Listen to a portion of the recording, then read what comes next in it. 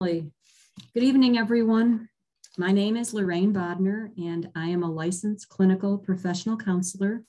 I have worked with the loss program at Catholic Charities for the past 24 years. I do this part time in addition to my full time job in senior services at Catholic Charities. I'm sure that among us tonight, there may be some people who are brand new to the loss program, and uh, we say welcome to you, and we also say that, you know, let me extend my condolences for the reason that you are here with us. But we're glad that you're able to be with us tonight.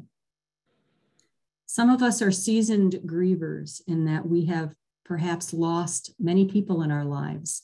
I know I've lost grandparents, parents, I've lost my brother, I have lost very good friends, I've lost my husband, so some of us have many losses in our lives, and the death of any loved one is not easy to experience, whether it comes without warning or whether it comes after a long struggle with an illness. But dealing with a death by suicide and the ensuing process of mourning, of bereavement, is probably one of the very most challenging because survivors may find themselves having recurring thoughts about the death and the circumstances around the death, replaying it over and over again, uh, remembering their loved ones, thinking about their loved ones' final moments or the last conversation that they had with their loved one. I know almost every survivor that I have worked with has grappled on some level with the complicated question of why. Why did this happen to my loved one? And they also find themselves slipping into a related question of are they in somehow responsible? Many will relive their loved one's final days or weeks or months over and over again, searching for clues and trying to figure out what they may have missed or what if they misinterpreted some sign. Post traumatic stress disorder can develop with intrusive images surfacing unbidden that create a great deal of anxiety. We know that while it has lessened somewhat, unfortunately, there's still a stigma attached to mental illness and to suicide. And this can contribute to some survivors' reluctance to acknowledge or disclose the circumstances of the death. Sometimes family members will disagree with one another about what to share with other people. And if they've made the decision to keep it a secret, that can be difficult for survivors then to speak openly and to get the support that they deserve. It can also lead to isolation and confusion and shame. So, suicide seems to give rise to a lot of conflicting emotions. We can realize, on the one hand, that the person who died was struggling emotionally and found themselves just in intolerable circumstances, feeling very hopeless. But we can also find ourselves feeling angry, feeling abandoned or rejected, betrayed, and sometimes overwhelmingly sad, lonely, broken, damaged, thinking that we were not enough to keep our loved one alive.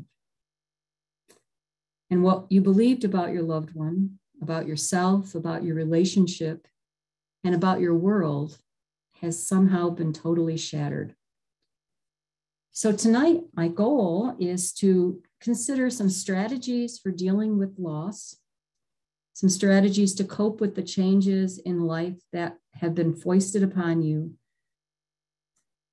and through, through the death of your loved one. And how do you reestablish your world order and somehow align your loss with your overall life story? How do you keep going? How do you once again embrace life?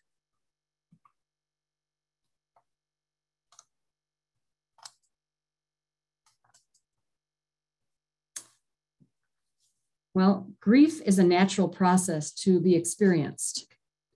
Grief has been likened to be as individual as our fingerprints. The reality is that each person is going to do this differently, and that there's no right or wrong way to grieve, to experience grief. There actually are no rules, there's no set timetable.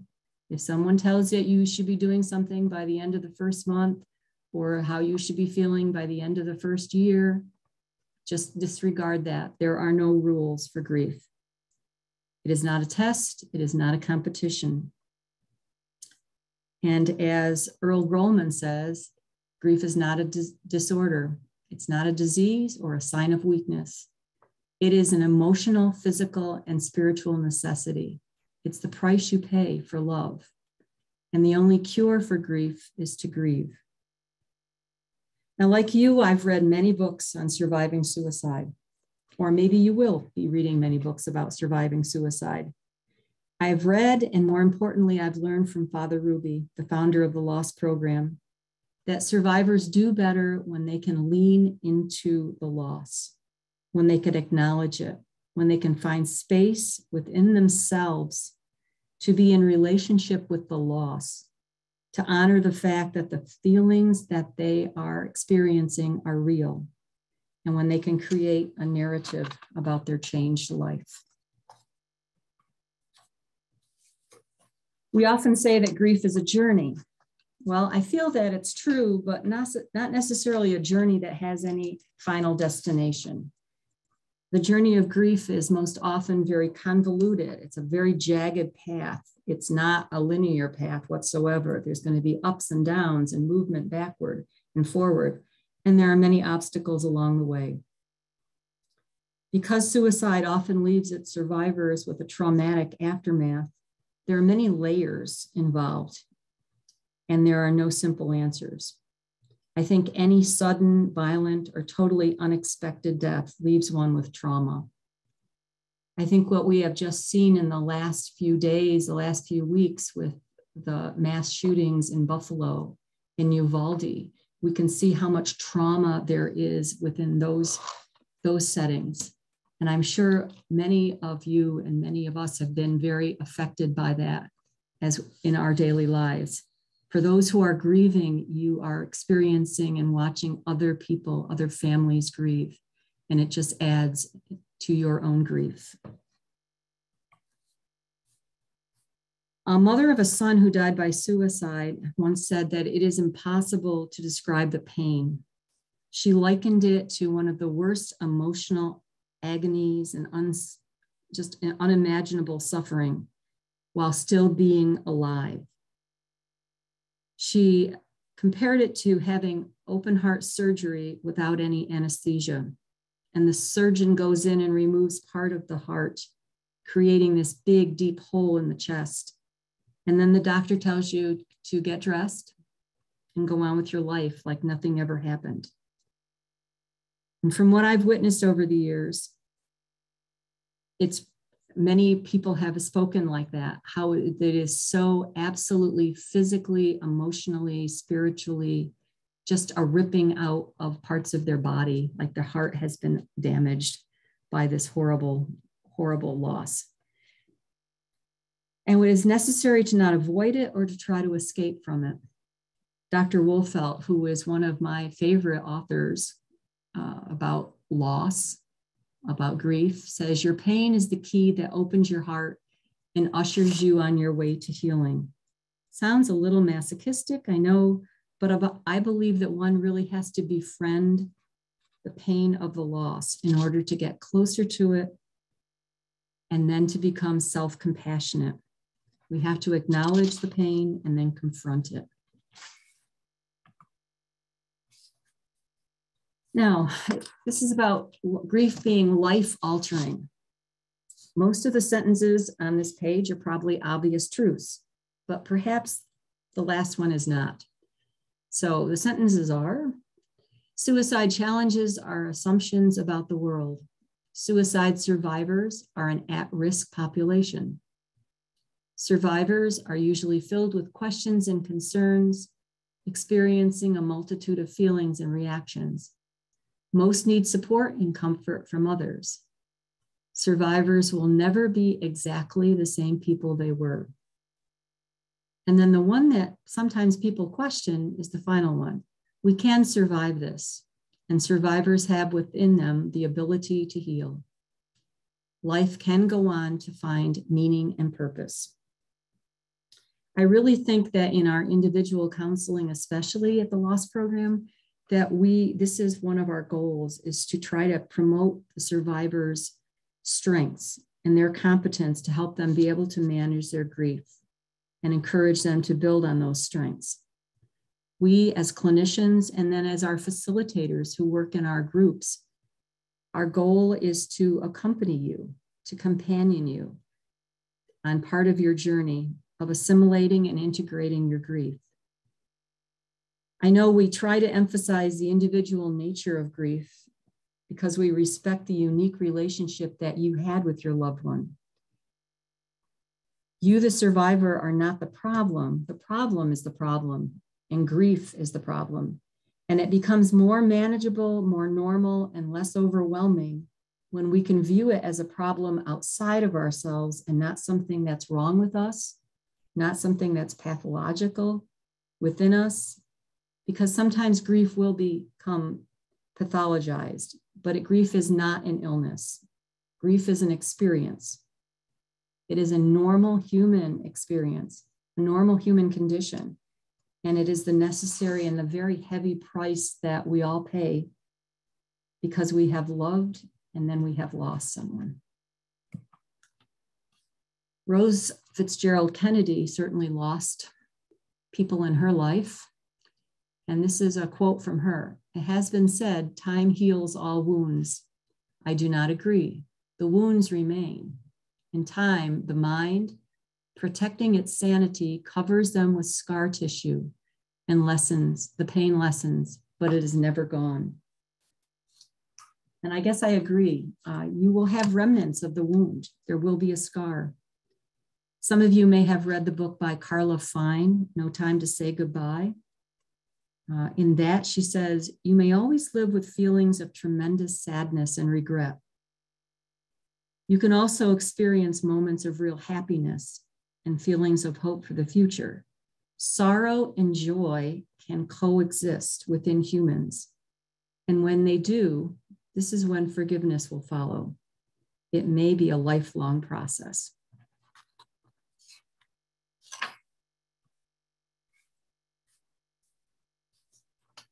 So, how do we chart our path through grief?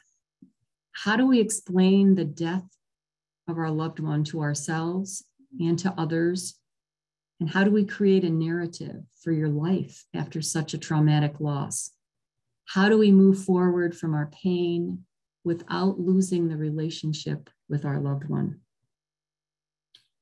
Some survivors have told me that they have felt as though they have been dropped into a totally different world into a country that they don't know, into a landscape that they don't understand. Uh, they don't know the language. They don't know how to maneuver through what they look upon as like quicksand of their emotions that just drag them down into places that is unfamiliar and places where they previously didn't even know existed. How does one accept the knowledge that this unfamiliar landscape is the place where they're now living? How does one relearn to live in the new world without the presence of their loved one, where the life patterns that you once knew are now disrupted, and where the shape of one's life is forever changed? The future that you thought there would be is no longer possible. We've learned over and over again in loss, in the loss program, how individual each person's grief journey is. Each member is a family member is affected differently. Parents ex experience the loss differently from siblings, and each sibling ex experiences it differently from one another. So, how do we chart our own growth? How do we navigate through this? Think sometimes with a traumatic loss, we don't even know where to begin. We can't even figure out what we're experiencing. We don't even understand our own emotions because we're just experiencing emotional confusion. So many emotions are just piling upon us. I think that is a normal reaction to a traumatic event. We may feel we want to scream, to yell, to shout out, to rage or we may totally pull back We want to isolate ourselves from everyone. You know, did you find yourself frequently feeling angry or tense or jittery? Do you have heart palpitations, sweating, hyperventilating, experiencing flashbacks of the trauma of when you found your loved one? Or if you were not the one to find your loved one, of imagining what it was like for someone who did? Or dwelling on what that person, your loved one, was going through in those moments, those final moments before their death. And then people will say to you, How are you doing? How are you? And often we find ourselves just only whispering the word fine. I'm pretty sure many of you probably answer that word when people ask you that question, how you are. And we may say this just to deflect the attention from ourselves because we just don't want to go there. We want to move away from the questions because we can just feel that there may be a whole interrogation coming our way. Sometimes we say this because we just we feel like we need to reject our other feelings or we fail to give words to them. Maybe to protect the person who asked us or maybe to insulate ourselves from the feelings and to just protect ourselves. And sometimes we just don't know how to give voice to our emotions. And maybe the person that asks us is just a person with whom we don't want to share. For some of us, I think not giving voice to our emotions has been a pattern for our whole lives. We may lack comfort trying to speak our feelings to others. Feelings may not have been respected in our family of origin or some, in some of our current relationships. And we simply may not have ever had an opportunity to develop our own emotional intelligence, which is the ability to understand, use, and manage our emotions in positive ways, to relieve stress, to communicate effectively, and to empathize with others, to overcome challenges and diffuse conflict. Some of us just have not developed that. When we add the trauma of a death by suicide to our reality, we may realize that we don't even know how to speak of it. I know I have sat in individual, individual counseling session with persons who have lost their loved ones, and they really are silent for almost the entire time. They cannot find words to give me an idea of what they experienced. It is just too, it is just too searing. There's the pain is too great, but they don't know how to give words to it. So I see that as part of my my role is to help them find the words, to help them uh, experience, to learn what they're experiencing. Because grief is not a life experience that can be approached strictly from a thought rational thought perspective, we may be really hampered when we have an inability to feel emotions. And I found that in working with survivors, that grief requires attention to emotions, and that those who deny their feelings, who can't really open up their hearts to feelings, they're the ones that really struggle. So if that is if that is you, if you find that you're feeling that way, I would really, really uh, encourage you to get into in one-on-one individual counseling with one of our clinicians because they will help you to be able to give voice to what you are experiencing. Along the way, people may ask you the question, how are you? And it's really up to you to decide who you want, how you want to respond to that. You know, with acquaintances, with people that you don't have a close relationship, brief answers are always very self protective. You could say something like, Well, my husband was very ill and died as a result of his depression. I love him and missing, I miss him terribly, but I know he wants me to continue on. Or you could say something like, Some days are better than others. Thank you for asking. Or I'm just trying to get on day by day. I'm struggling. I know it will be a long journey. But again, thank you for your concern. And there's always the answer I just prefer not to talk about it. But thank you. Thank you for asking, but I really prefer not to talk about it. It's within you to be able to share as much as you want with others.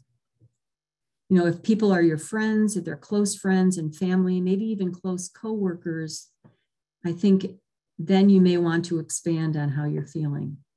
In our individual counseling and in our groups, that's when we invite you to reflect on how you are managing. We encourage you to open up your heart in a safe place, in the safety of those who have been on this walk before you, and also in the safety of the one on one counseling experience where you are met without any judgment. So, what coping strategies have you found to be helpful? Now, coping can be defined as what people do to minimize stress. It's commonly seen in health psychology as problem focused, that is, re- directed at reducing the threats and losses of illness, emotion, or grief. Or it's emotion focused, namely directed at reducing the negative emotional consequences. Now, here I have a picture of a toolbox because in our monthly group meeting that I attend, uh, Tom Klemkin, who is our loss facilitator, he often reminds us in our group about having a toolbox, gathering a toolbox of strategies for coping. And I think one of the most important tools that we can add to the toolbox is actually the story of your loved one. That we want to be able to tell the story, not only the story of the death, but tell the story of the life of your loved one. The circumstances of someone's death, when those circumstances are sad or tragic, should not become a prism through which we then see that person's whole life. That's what Father Ronald Rolheiser said. And he is one of my favorite people to uh, speak about death uh, by suicide. He writes a column, at least he used to, once a, a year, one month uh, a year, he would have a, a, a column, and it would always be dealing with suicide and how, especially how the Catholic Church was viewing suicide. And I don't know if you can see, this is a book by him, Bruised and Wounded Struggling to Understand Suicide by Ronald Rolheiser. I think survivors uh, have shared with me, you know, they have felt as though their world has fallen apart, that it's no longer orderly or understandable to them. They realize that there were parts of their loved one that they didn't know. And they've come in, they've questioned their own identity because that has become so shaken by the suicide. Many people have engaged in an intense review of what happened and why it happened and how other people played a part in what occurred. They examine their own role in the suicide. There's many have a perceived failure to have been supportive of their loved one or to recognize the depth of the suffering and their inability to prevent the suicide. Some have shared that they had no idea that their loved one was suffering. Lots of things come to light, but only in hindsight. Most survivors in time realized that they were not all knowing, that they were not in control. They were not able to control another person. And they realized that they will never know the absolute truth about the story, about the loved one's suicide. You know, when we think about being in control uh, and not being in control, I've had uh, experiences dealing with uh, two loss survivors. Uh, one was uh, well, actually, it was a couple who lost their 11 year old son to suicide. And we think we should be able to have pretty good control over an 11 year old. But you are not with the child even all 24 hours a day. And even though he, they had, they knew he was struggling with attention uh, deficit and uh, they believe bipolar disorder, even at the age of 11. They had him in therapy. It was a very loving family. There were six children altogether. He was the youngest. They were all aware that he was struggling. He found a time when he could be alone and he took his own life. I have another lost client who uh, lost a 10 year old son. Again, we think we should be able to control our children, but even with children, we cannot be in control. Okay. So, in order to rebuild one's life after a loss, I have found that it's necessary, a necessary healing task is for the survivors to talk and to develop a bearable narrative of the suicide, one that works well enough for survivors so they can get some relief from the question of why, and include, in the words of Jack Jordan, who is a clinical scholar of suicidology, to include a realistic and fair explanation of what happened, why it happened, and what responsibility the survivor should realistically and fairly assume for the event. So, therefore, I think one of the most important tools you can add to your toolbox is the narrative, the story of your loss.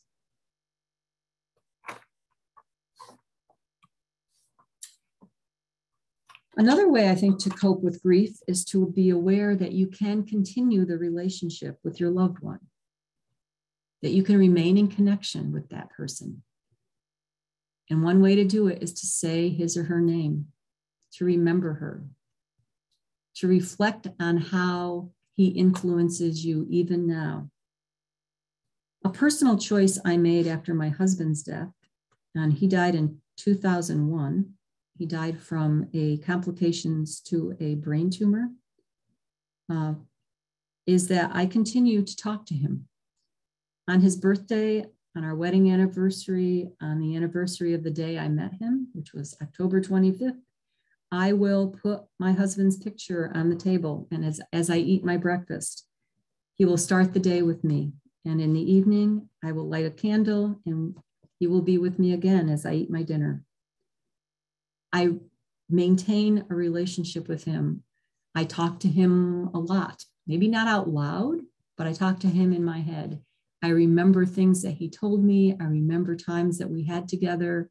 When I can't find a tool in his workshop in my basement, I will ask him to help me find it. And almost every single time, I am just led to it. So I encourage you to maintain a relationship with your loved one. I encourage you to say their name out loud.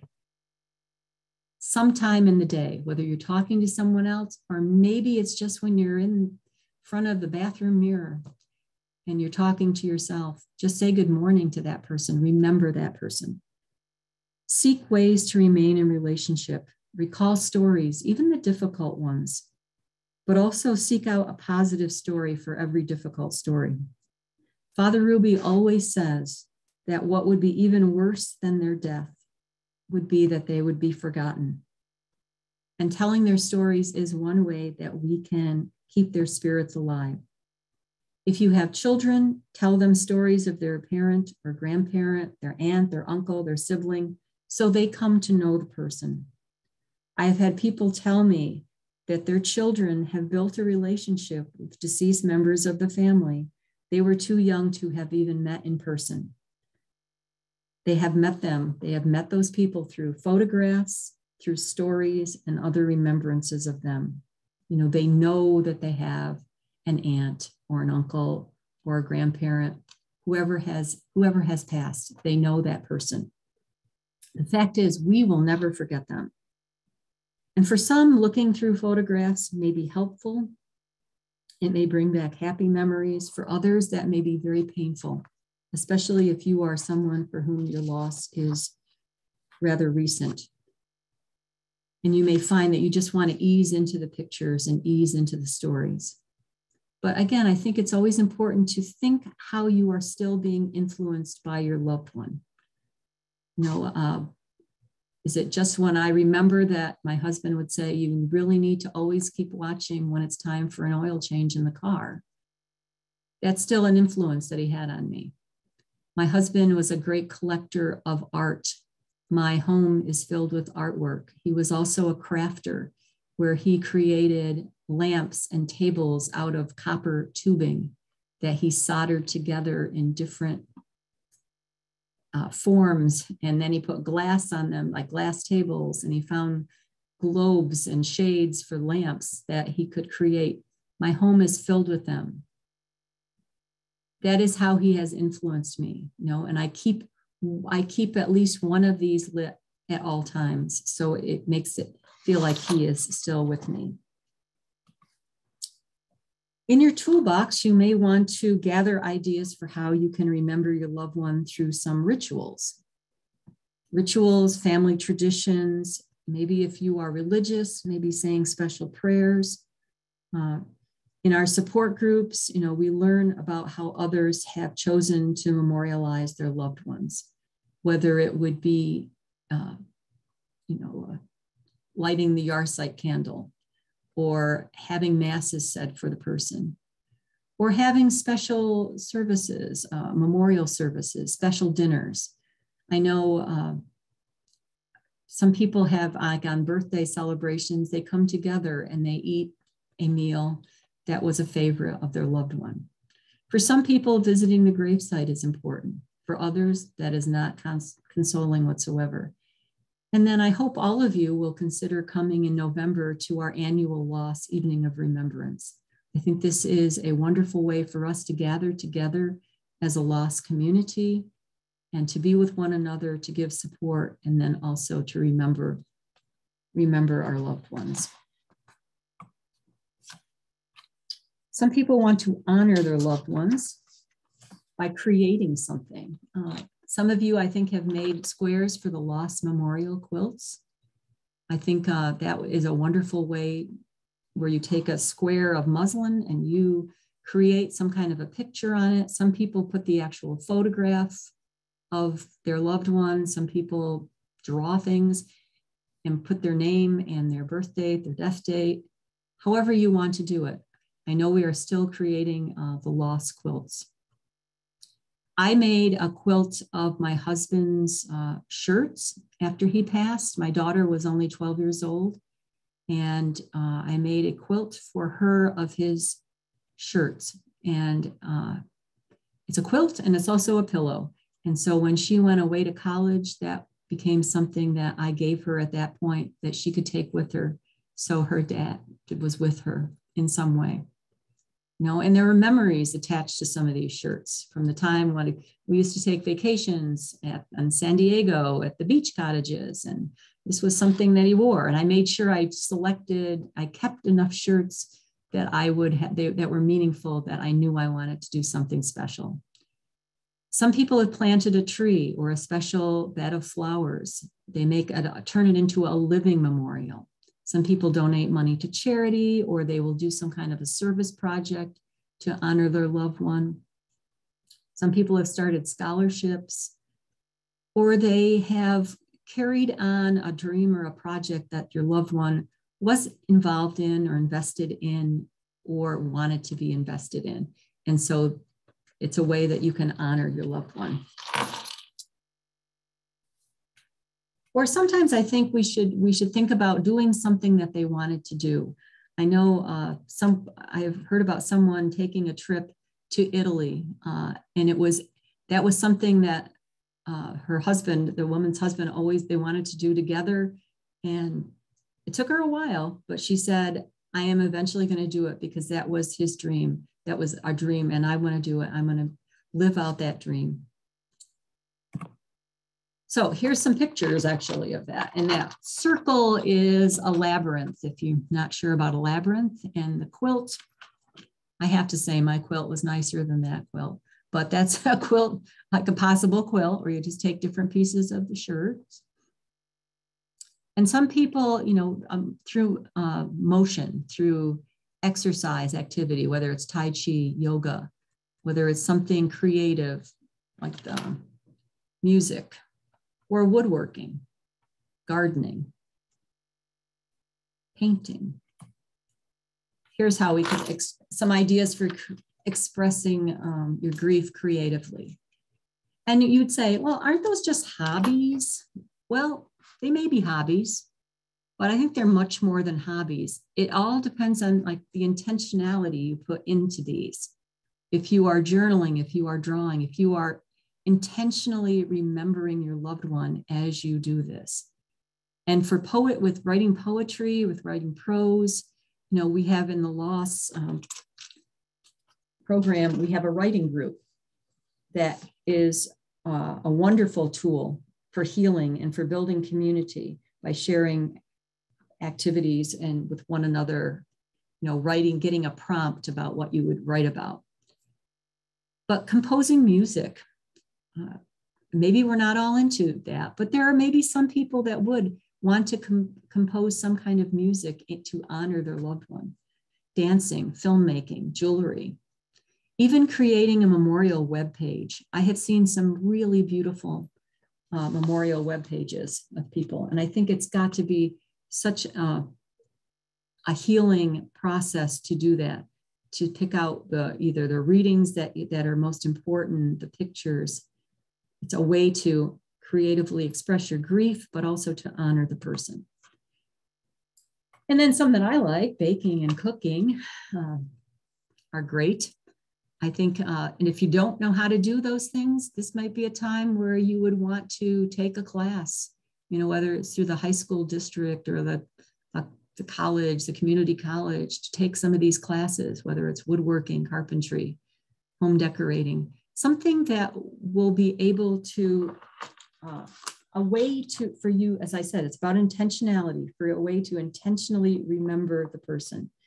Uh, maybe it's making the foods that your loved one like to eat. I know in during the pandemic, a lot of people got a hold of that sourdough starter and they made a lot of bread and if maybe you know you're sharing the bread with other people you know i made this for you and as i was making it i was remembering my, hub, my husband or i was remembering my son when i made this fostering an animal you know especially if, if your loved one was into animals this would be a way for you to to help help an animal but also to remember something that was important to your loved one and then reading Walking a Labyrinth. Elbert Hubbard said a cure for grief is motion because grief is physically and emotionally and mentally, all of it exhausting. It's such a exhausting process when you are living without the person that you have loved. Intellectually, we know that exercise is very good for both our physical health and our mental health. Exercise, physical exercise can, can contribute a great deal to our happiness. And doing it regularly can help us deal with depression, with sadness, and with anxiety. Some of us are not really into exercise in a big way. So I'm going to change the word to even movement or energy management. But we know that movement is good for our heads, it's good for our hearts. It really is a medicine of sorts. It can change our brains. We've really become a sedentary culture where we park our car near our workplace, see how close we can get to the building. Or we take train and we just don't walk the way our ancestors used to walk. I read that thousands of years ago, our ancestors walked an average of eight miles a day. And I asked myself, how far did I walk today? Very, very, not very far you know how did we generate and how do we manage our energy this would be something that we we can uh, work on of of finding a way to physically get involved. You don't have to do anything radical or strenuous. Many LOSS clients have shared with me how walking in their neighborhood helped help them. Some people spend time in nature. I know the chicago botanic garden has been a favorite peaceful place for many to walk and just to commune with nature and beauty. I think uh, if you can be near water, water is said to be very healing when dealing with grief. Going to a local river or to a lake, to a lake where the water is shallow enough that you can actually walk, wade in it, it's both ther- therapeutic and just very soothing to many people. But just walking itself, whether it's you know, an activity you do solely, or if it's if you want to walk with another person. And then uh, some people have gotten involved with the uh, out of the darkness walk. Uh, so that is another very healing process where people walk. Uh, they start it in the evening and they walk all night. And there's a lot of activities. That's with the AFSP, American Foundation for Suicide Prevention. Um, so I'm just going to ask you now, and if you want to put in the chat, is there any other kind of coping mechanism like I've just spoken of that I didn't talk about that you may uh, that you that you practice or that you want to uh, tell us about? And if not, that's okay.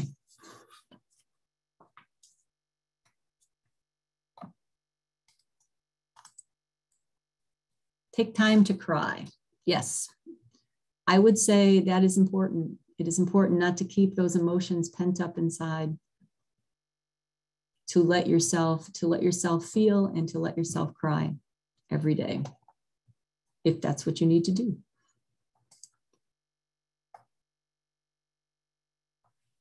Okay, I'm gonna move on then. Maybe.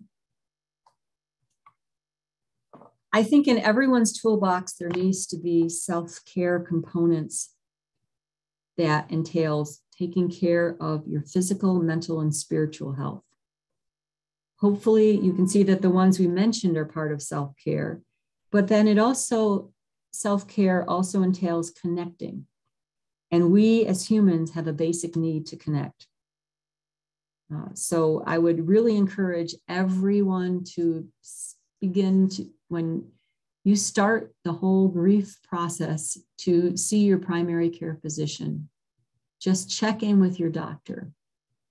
And also take the time to communicate, to communicate your needs with your family, with your friends, but look for good listeners. Not everybody in our circles are good listeners. So seek out the ones that are good listeners. And then I would also encourage people to seek therapy consider individual counseling, even if you're part of a couple who has lost a loved one. Each one of you should do counseling on your own, I think. It's, it's much more freeing. You're able to speak much more freely because without the idea of perhaps I would hurt the other person. And I would encourage you to attend support groups, to connect with faith communities if that is something that's important to you. Give yourself permission to have fun. Because you have lost someone, it does not mean that this has to, you can no longer have fun. It's like we talked before, where you can have sorrow and you can have joy, you can balance them. There are times when you can have fun and give yourself permission to have fun, to smile, to laugh. And then I, and I, am going to give you an example of someone that I've worked with for a long time. Uh, she lost her husband. And one of the ways that she and a friend of hers, I think they were both in a in the loss monthly group, or maybe they did an eight week group and they got to know each other. They joined a square dancing group. So it was a way for them to connect with other people. It was a way to them for them to have physical exercise, and it was a way for them to actually have fun. They gave themselves permission to do that once a week. And for, for my client, she actually expanded and she was doing it several times a week. And then years later, she actually met someone, met a gentleman there who had who became her significant other. So she gave herself permission to have fun. Also, plan ahead. Now, planning ahead can be especially for uh, painful reminders, for those moments of like that you know an anniversary is coming, or those, uh, especially early on uh, when you may have um, waves of grief that come on. You know, uh, we always talk about uh, when you're going somewhere we always suggest that if you can drive yourself, if you're going to someone's home, if you're doing going to a party or something that you're a little not sure if you're ready to handle, that you plan ahead and find that you have an exit strategy in case you have it that it's difficult for you. Because you can't you can't always know what's going to come your way, but you can also try to uh, try to plan ahead if possible but just knowing that they may happen helps you accept them. And then I would say, like I said, plan ahead for grief provocations. These are anniversaries, birthdays, milestones that can reawaken memories and painful feelings. I think holidays, uh, sometimes receiving a wedding invitation of a friend's child when your child uh, has has passed is is difficult knowing that your child is going to remain a certain age and that other child that other is moving on and now getting married. Sometimes the change of seasons can be difficult for people.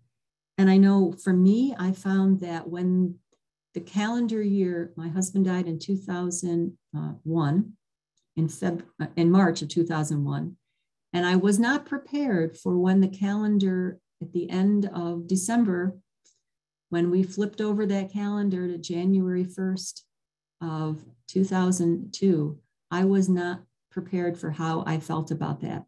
It caused tremendous upset and sadness in me that he was never alive in this year.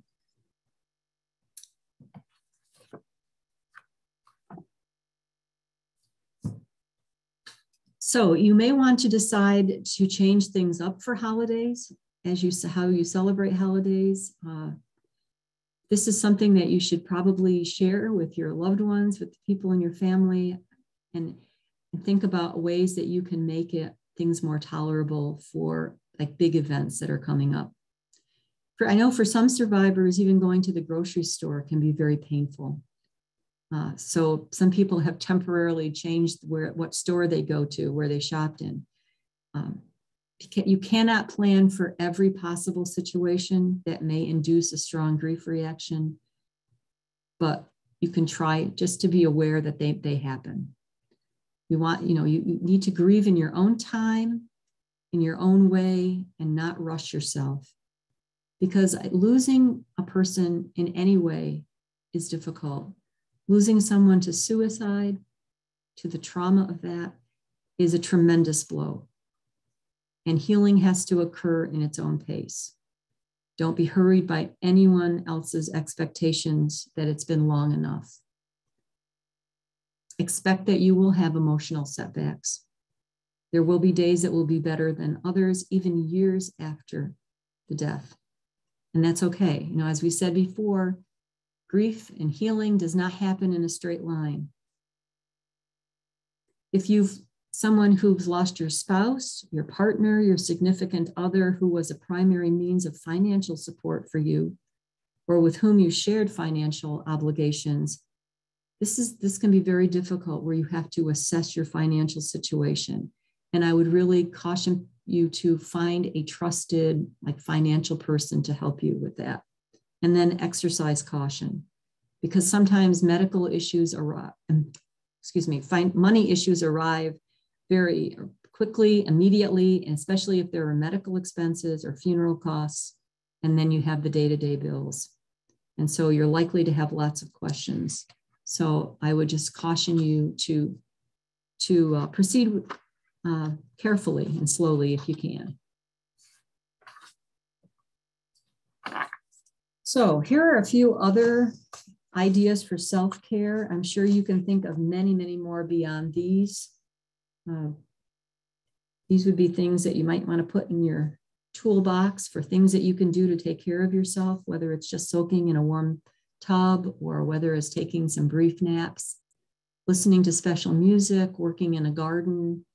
Um, take, I like the one taking a day off from work to do nothing, praying, meditating, uh, I would, you know, I know for many people, they hold on to comfort items. It could be uh, photos, it could be a favorite shirt, sweatshirt, flannel shirt of their loved one.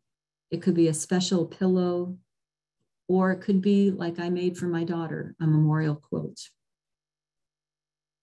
Some people I know carry little inspirational poems or quotes with them that they can just kind of pull out when they feel like they need it, that they can just read. Some people keep a, like a little keepsake or a small personal item that belonged to their loved one They can keep it in their purse, they can keep it in their pocket. So it's something they just need to touch because they will bring comfort.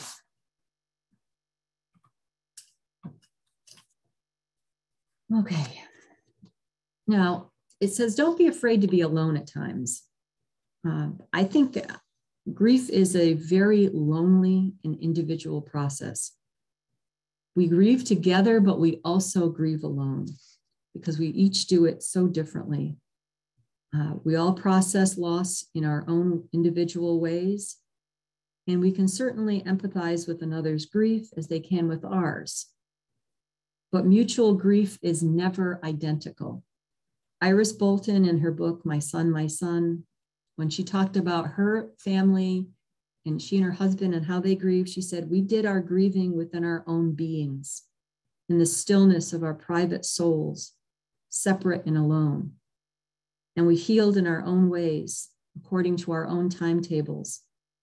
But at the same time, we shared our sorrows and so received the wonderful kind of healing that comes from dividing a burden.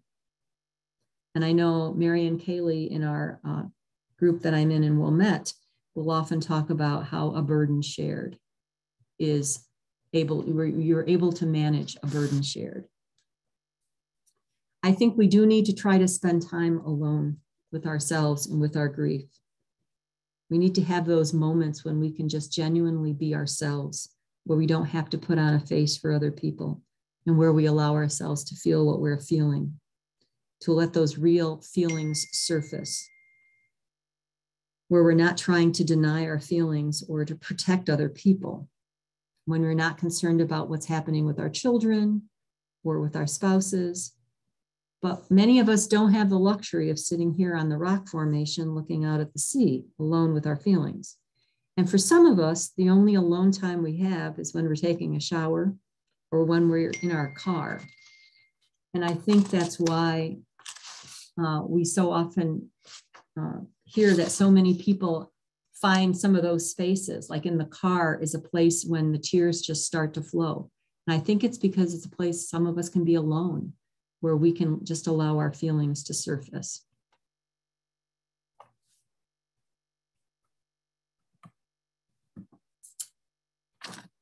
So, whenever we can take those moments, do, but also seek out ways to connect with others. And the way we do this is that we tr- try to avoid too much isolation.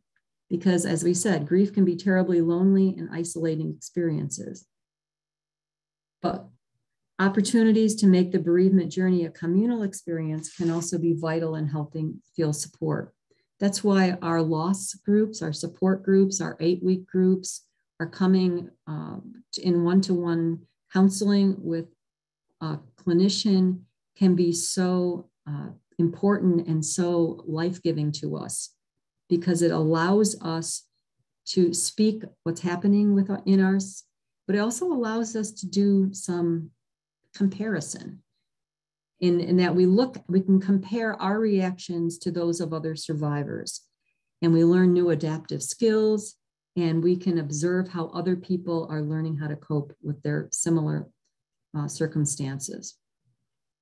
Susan Anderson has said, grief shared in community distributes the burden over many shoulders. Collectively, we can help one another.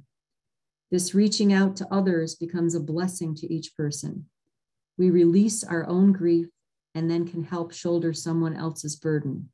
And I know many people come to the support group uh, after uh, sometimes they've, they've lost their loved one years ago, but they come to the support group to give back, they say, because they want to be there as, as someone that has actually lived through this and survived it, and now they can give hope to other people. So I really cannot speak highly enough about the positives that can come to us through the support groups. They are probably one of the greatest tools in the toolbox. So if you are someone, especially for whom this is a new loss, I would really highly encourage you to attend monthly groups, whether they're on Zoom, or I know we're going to start some of them in person, or an eight week group. on Zoom is also very, very profitable for you to come to. The one on one counseling is another possible social interaction for you. There are other uh, resources online, especially. There are blogs, there's online support groups, there's the Alliance of Hope for Suicide Loss Survivors, SOS groups, Survivors of Suicide. There are blogs, um, and our side of suicide website and blog. There's chat groups. And there's also some very excellent TED Talks given by survivors of suicide that you may find helpful.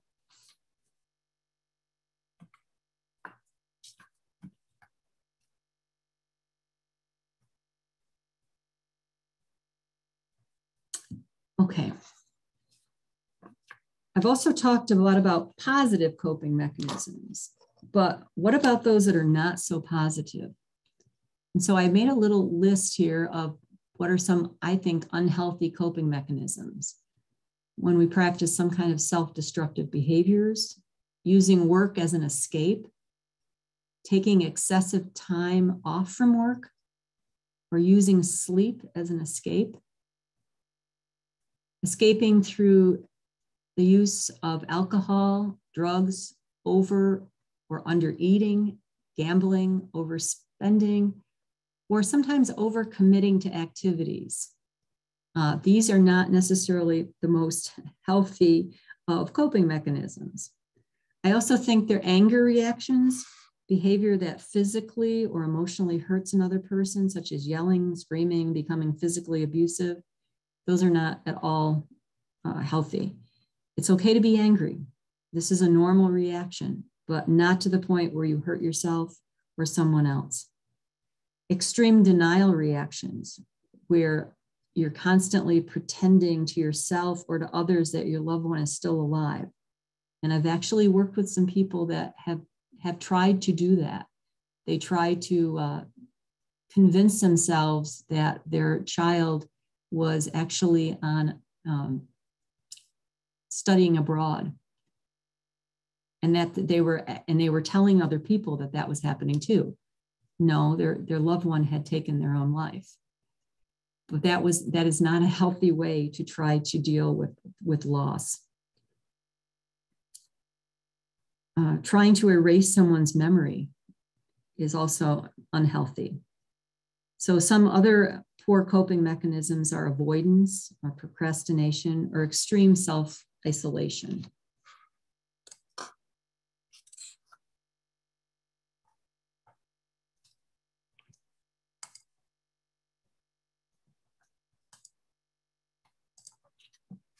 Let's see if I can change the mechanism. Okay. I would caution you to beware how you use social media. I think it can be very helpful in letting know others know about your loss and asking for support. But as I say here, sometimes it can also attract internet trolls. And I think one of the last things you need when you are grieving is to get inappropriate, insensitive, and sometimes judgmental, abusive messages. So be very cautious on how you use social media. You may want to limit your social media use to a closed group rather than to a public posting that can be commented on by just anyone. Now, what if you experience suicidal thoughts? Because sometimes the pain is so intense that survivors will think about taking their own lives. I have found that some people have expressed their desire to die because they feel so bereft after the loss of their loved one.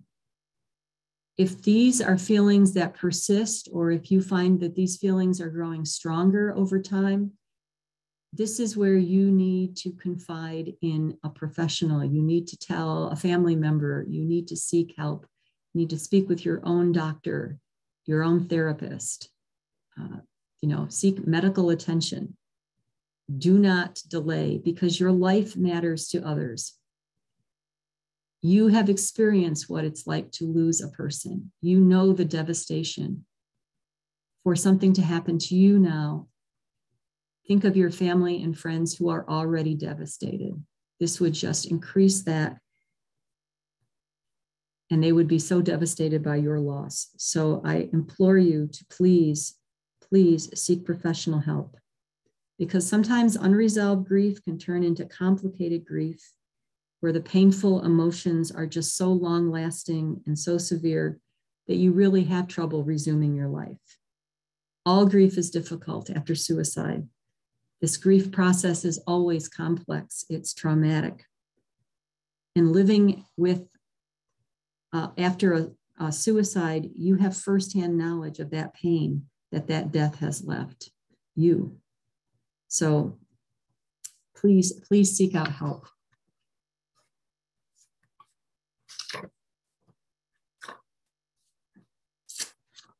Lucy Hoyne is one that Hone is one that I really found her TED talk to be very, very uh, meaningful and helpful. It's about resilience. And she lost her daughter and I believe her friend and her daughter's friend uh, in an automobile accident. And it was just absolutely horrific. But her, she gives this fantastic TED talk on resilience. Learning to live with grief is learning to live in a shattered world, is one of the things she said. And it's very true. Remember, grief is not a linear process, it's not an orderly progression. Sometimes you find yourself crying and you think, just a few minutes ago, I was feeling calm. What happened? And I heard someone say that grief is like a series of loops. You can circle back to where you were some time ago. It's not a straight line. The LOSS Program is here to hopefully provide you with support in a safe and confidential environment. Our goal is to help you integrate this loss into your life, to be able to accept it as part of your personal history, it is not something that you're ever going to probably feel total peace with, but we hope that you will come to some sense of peace that you can go on and continue with your life, knowing you're not, not alone. I know I often ask people in individual counseling in the darkest of times, where do you see any cracks of light? And I guess I would ask you to reflect on that. Where do you see any cracks of light? Where do you see any hope? I would suggest that you think about keeping a gratitude journal. Or even if you don't keep a journal, just before you go to bed at night, before you go to sleep, just look, think back on your day and can you think, find one or two things that you, for which you are grateful for? Because I think an attitude of gratitude cannot be overstated when we are grieving. There are still some good, positive things happening in the world and in your world, even when you are feeling most crushed. There are still some, there's still some positive things, and you may have to hunt for them, and they may be small, and it may be that someone spoke to you kindly, or you maybe received a card from someone, you know, when they talked about your loved one but it's it's a way for us to help to focus on some good and help us to see that there is some light. I think gratitude can help us by enabling us to focus on what we have rather than exclusively on what we have lost.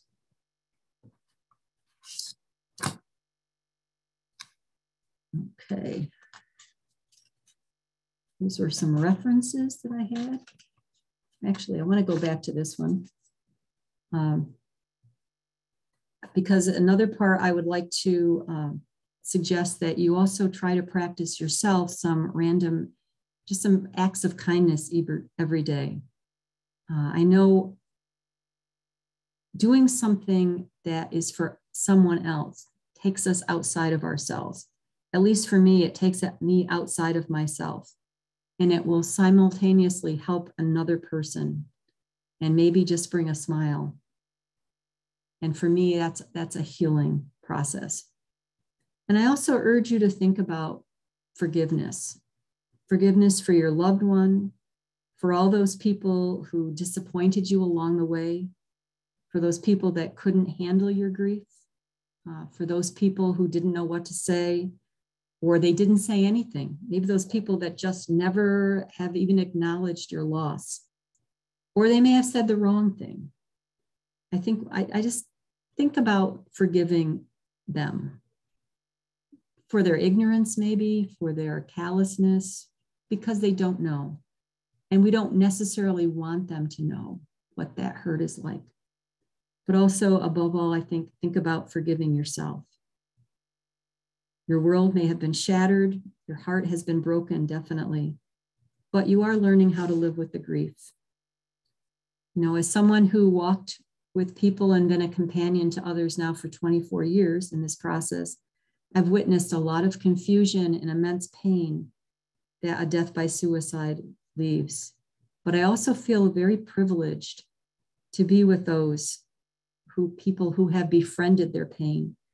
I know I had already been working in the LOSS Program for years before my husband died.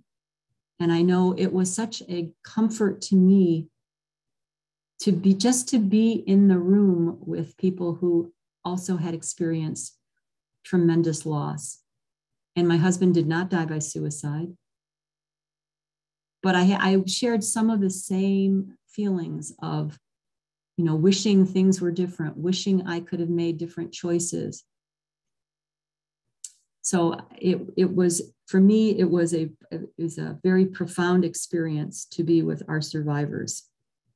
And I feel very privileged that I have been with uh, the survivors for these years. I have been, be able, been able to behold the tremendous strength and the resilience, the love, and the compassion that have been the byproducts of survivors' grief journeys. Because I just find uh, the resilience of our people is really amazing. So here were some references.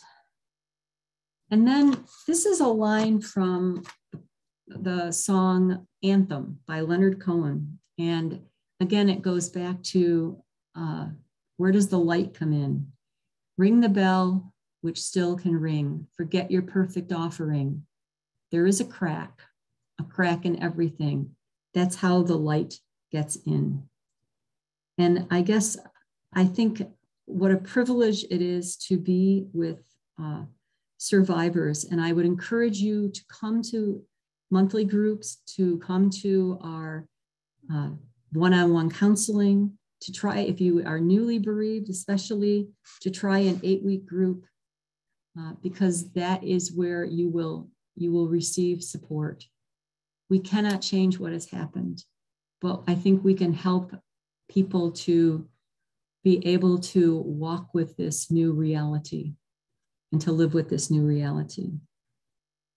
I know one of our LOSS guidelines at our support meetings is that we will not give advice to others. We will speak from the I position. I know the purpose of this evening has been to educate, to give you some ideas for coping, and really not to give you advice. I do know about being a companion to people whose lives have been shattered by suicide but I have learned how to do this from you, the survivors. And I am grateful to you because you certainly inspire me.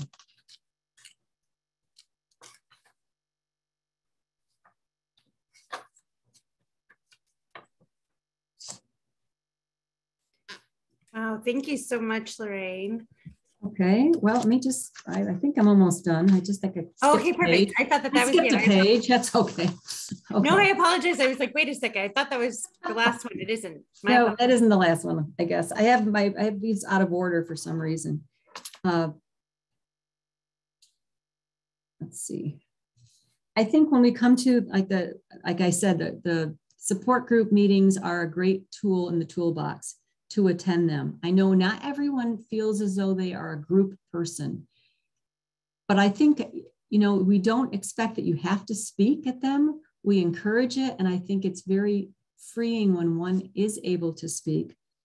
But I would definitely encourage you to try a Zoom meeting, and we will continue to have Zoom meetings.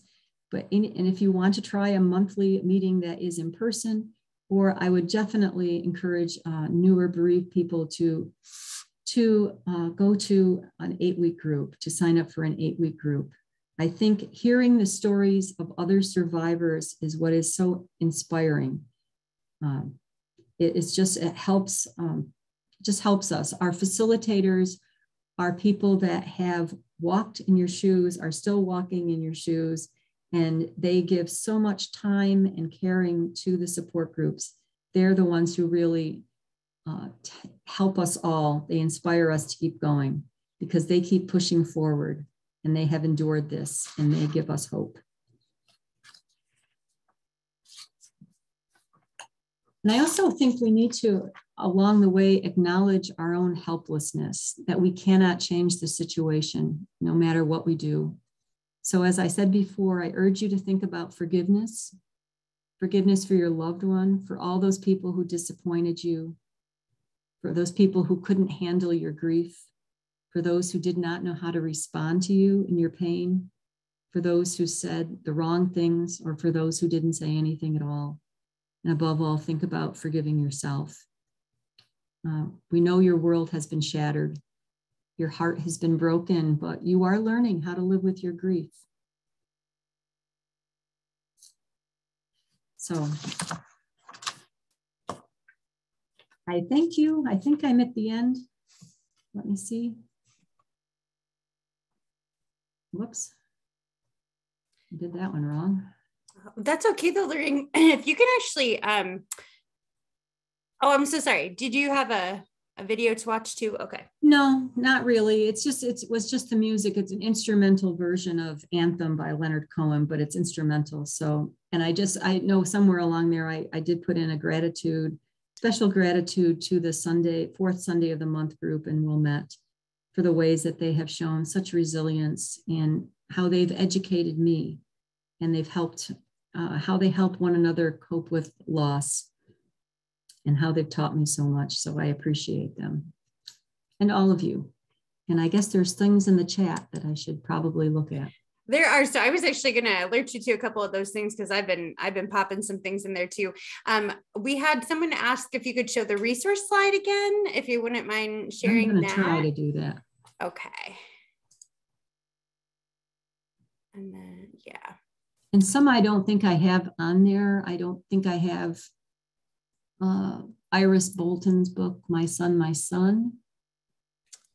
And I don't have No Time to Say Goodbye by Carla Fine. So that one I did pop in the chat. Okay, um, yes, I think I saw that. No Time to Say Goodbye. And then um, I can look up My Son, My Son also. But uh, these are some some good resources and um, part of um, some of our, our LOSS materials also that have um, just some recommendations on them. So some good ones. Um, we also had a, a, question a while back, Laraine, if you would be willing to sort of go back over um, the narrative formation piece and sort of what, what that looks like for um, for survivors um, and sort of you know you gave such a nice mix of the practical things and the you know the the more you know the things that we sort of do internally or mentally or emotionally and that was just a, a question that was asked was about the narrative piece. Well your narrative is your story. I think if you've ever if you've gone on one and done any one-on-one counseling or if you've gone to a support group uh, part of what I know I do, I will always sit with someone and just say, Tell me your story. Tell me the story of your loved one. And basically, it's telling the story of what happened.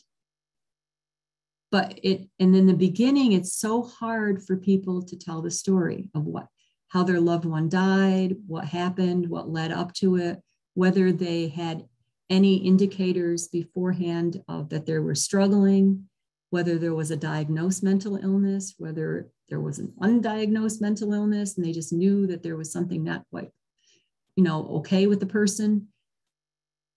It's telling, it's telling your story. What is the story of your loved one's death? And then in our monthly groups, our eight-week group, every time we come together, we ask that you introduce yourself, tell who you lost, tell how long ago it was, no, say their name. That's part of the story. It's part of your the way that you come to accept that this really happened, that this is reality, that you, that you have lost this person that you loved. And then it's, I mean, that you you form the narrative. You and the narrative you learn more as you go along because we learn a whole lot in hindsight as we look back at how the person was living, how the person's last days were, or what we learned from other people. We may not have lived with the person who died. We may not have known what their day to day struggles were, or we may have. So it's it's the narrative is what your story of your loved one and then you're part of that narrative and how you are now dealing with it how you are coping with it that's part of the narrative too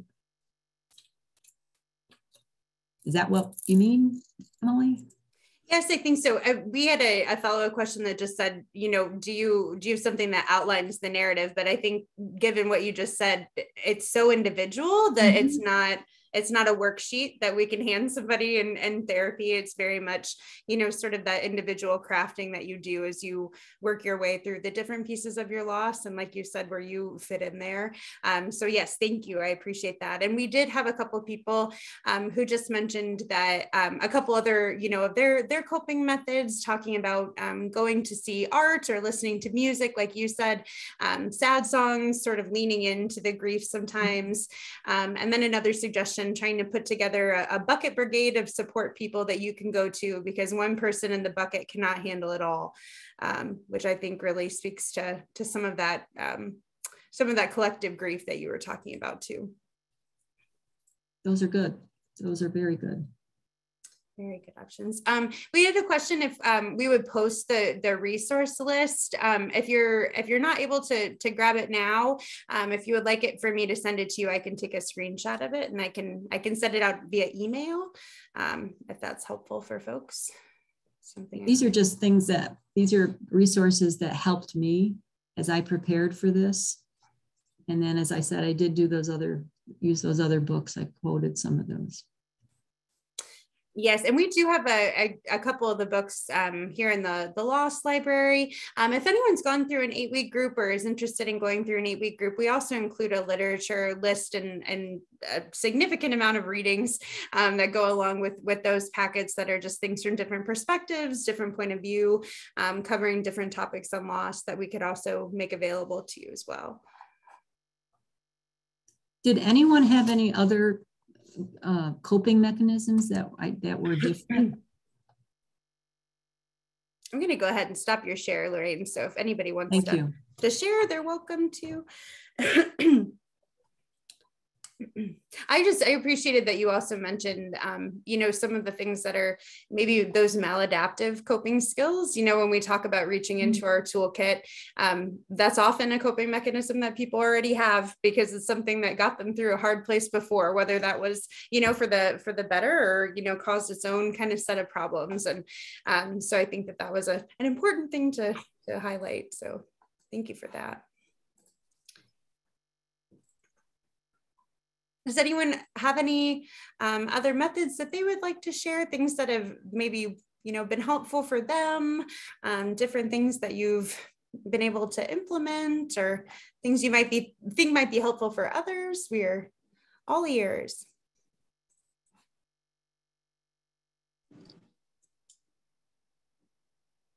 I think one thing that I was going to say, which I didn't say, uh, one person I knew uh, who lost her mother. Her mother had taught her how to crochet, and her mother was elderly. And so she actually, what she did was she made like little lap blank lap blankets. Is that what they're called? Lap for the lap. And then she made those as she was doing it. She was remembering her mother, and then she took those and gave them to uh, a long-term care facility, to in in you know memory of her mother. And I just think that kind of thing you know we don't always think about that as being such a as being a coping uh, strategy but it is because it's allowing us to connect with our loved one but we're also doing something for others. And i think that's just that's uplifting Absolutely. Um, sister Catherine uh, said that she likes to write letters to her sister, give her updates on what's happening, how she's feeling, um, any questions she might have, and, a, and sort of in place of, of a weekly phone call um, that they used to yeah. have. That, that's, I think that's beautiful. I know for me, I actually kept a journal after my husband passed away. And it was, I found myself writing to him rather than, you know, just like other journals that I kept in the past was different. And once he passed away, it was writing to him, telling him what was going on. And yeah, that's beautiful. I agree. That's really beautiful. Um, and then Tish shared, um, ooh, there it is. For me, going to my faith brings me peace. Um, maybe just a quiet moment or being in prayer. Certainly. Absolutely.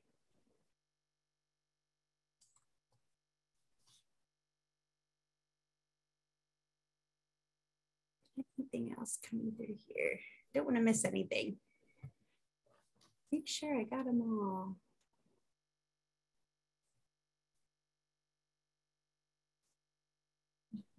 Someone walked the Appalachian Trail in memory of their loved one. So that's pretty big. Absolutely. I know that there was a, a documentary that came out um, I can't remember exactly when, maybe a year or two ago, um, called, I think it's called Scattering CJ. Um, and it's about a family who lost their, their son um, to suicide. And then people, um, his friends and just loved ones from all over the world um, took his ashes to spread in, in really beautiful places and places that would have mm-hmm. Um, really been special to him. And I thought that was lovely. you know, we, uh, we had the, a really exciting opportunity to have David Axelrod join us for the brunch. And um, this isn't something he said during the brunch, but one of the things he said before was that his father had instilled this immense love of baseball. And then it became uh, David Axelrod's sort of link to his father's memory was remembering um, how much he loves baseball and then taking his own kids to go to the ballpark and, and that that was just something that he wanted to do. Um, then uh, I did so many things. I journaled, wrote letters, sat by the lake, talked to him, read all the articles I could find. Me too, yes. Um, went to two years of counseling. Um, got to, oh, got together with friends for yeah for Steve Beck Day on his birthday. I love that. Mm-hmm. That's beautiful.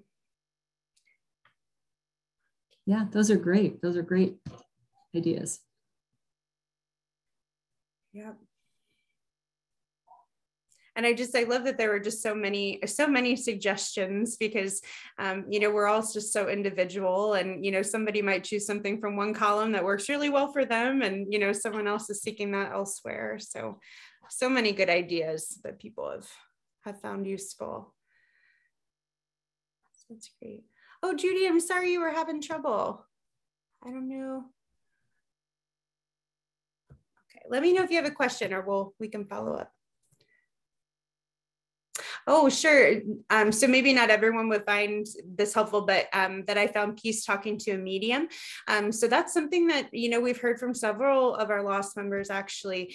Um, and one of the things that I think we, it kind of goes back to one of those guidelines. We respect everyone to utilize, you know, healing methods that work for them. That is something that has been a source of, of, of great you know comfort for several people. And i think that you know if that's your spiritual belief and, and a piece of, of you know sort of your um, individual beliefs that's who are we to say what what's healing and what isn't? So i agree. Oh i see julie judy you were able to unmute. Did you have a question or a comment I was just gonna um, let you know I couldn't get um, most of the people on here, and um, it was toward the end of the presentation that I was able to even put my own picture on here. So I don't know. I thought I saw a note that somebody else had their problem too, that they couldn't. Um, oh, it could it could have been yeah, not not everyone had had their cameras on, but I hope that you were you were able to hear us. I hope that that that that is coming through. I, yeah. I, I, did hear, yeah. Um, okay, good. Okay. Thank you. Oh, Judy, I could good. I could see you. This is Donna. I, I couldn't I couldn't switch to gallery view to see everybody just until recently. So I had that um everybody was kind of down on the bottom, you know. Yeah. I, I can see you. Yeah. And I can see Emily and I can see uh, Laraine. Laraine. Yeah. That, and, uh, those have to do with a couple of a couple settings that I messed with. yeah. yeah. Oh, so, no worries. So that that's why. But oh, I, I promise it, it wasn't anything anything on your end. That was all me kind of manipulating things behind the oh, curtain over okay. here. So all good. All good. Okay. I was changing settings on you, so that that was that was my doing. I, oh, yeah. All of a sudden, gallery view. I'm like, there it is. Where? How did it get here? okay. Now I've got a couple of pictures. Hi, Ian. Hi, Judy.